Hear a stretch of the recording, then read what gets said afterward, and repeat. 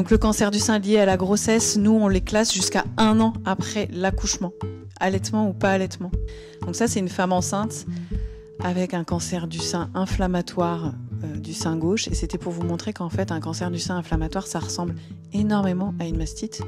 Palper les aires ganglionnaires et un ganglion qui est dur, qui est différent de ce que l'on peut voir comme ganglion réactionnel une mastite, ça va vous fertile. Le jour où vous en aurez palpé un qui est dur, qui n'est pas comme les autres, vous en rappellerez toute votre vie. Tout en restant chez les jeunes femmes, on peut avoir un envahissement ganglionnaire quand on n'est pas enceinte entre 38 et 50 et chez la femme enceinte, ça monte vite de 56 à 89 Alors, il faut savoir que tous les cancers du sein ne donnent pas forcément une boule. C'est important de le dire. À chaque consultation, il faut en parler pratiquer une palpation. Et surtout les professionnels de santé qui prennent conscience que ça va arriver malheureusement de plus en plus souvent et que c'est pas des cas isolés.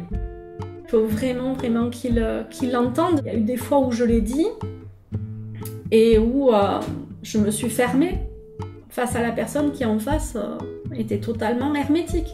Par contre, il m'a dit qu'il savait que le, cancer euh, pendant la grossesse pouvait être traité. J'étais à trois mois et demi de grossesse.